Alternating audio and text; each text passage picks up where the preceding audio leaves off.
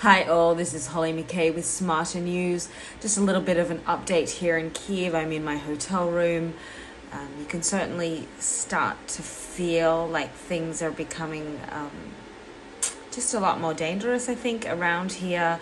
We woke up at 5 a.m. to some huge explosions this morning, and that was an apartment building uh, downtown that was hit. Um, the air raid sirens are going off pretty frequently, um, and it's just feeling a lot different now. So I think, um, as much as I think that Ukraine will be able to just sort of hold out the city, at least uh, land wise, um, for a little while, I, I'm not so sure about what's going to happen with the air situation. So it certainly is becoming a little bit more of a precarious time. Journalists are being killed and injured and seems to be actively targeting.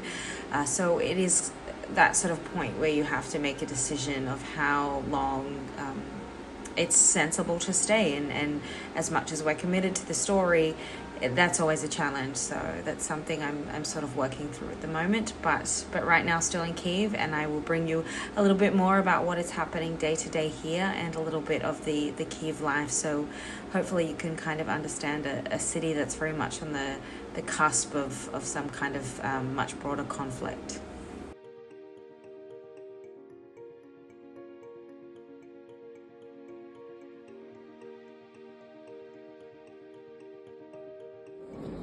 People everywhere trying to leave before lockdown comes into effect at 5 o'clock today, which means no one is going to be able to leave their place in Kiev. So I'm not sure if I'm going to be able to get out. There is really nowhere to buy any tickets. Um, so if that is the case, I will be here.